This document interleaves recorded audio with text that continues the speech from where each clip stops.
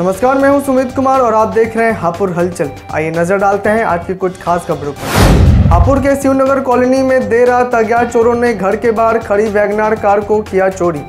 चोरी की घटना सीसीटीवी में कैद। हापुड़ के पिलखो के गाँव डुहरी के कब्रिस्तान से तीन महिलाओं की कब्र खोदकर अज्ञात ने निकाले दो के सिर, पुलिस जाँच में जुटी। कर्नाटक में ट्रेन से कुचलकर ब्लैक पैंथर की मौत आईएफएस अफसर बोले, उसे अपने इलाके से बाहर की मशीन ने मार दिया।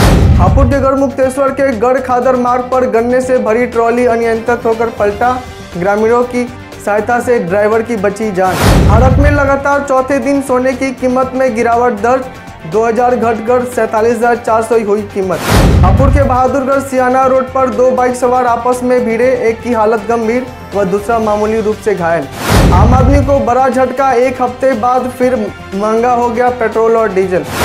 लखनऊ पुलिस ने तीन लोगों को किया गिरफ़्तार, तेईस लाख कीमत के चोरी के 118 मोबाइल बरामद। कासगंज में मुकदमा दर्ज होने के दो माह बाद भी पुलिस ने नहीं की कार्रवाई। विवाहिता ने पुलिस पर पक्षपात करने का लगाया आरोप। संभा के अलीपुर की एक महिला ने भाई पर लगाया ज़मीन बेचने के लिए मारपीट करने का आरोप। पुलिस को मिली सूचना के बाद भेजा गया अस्पताल।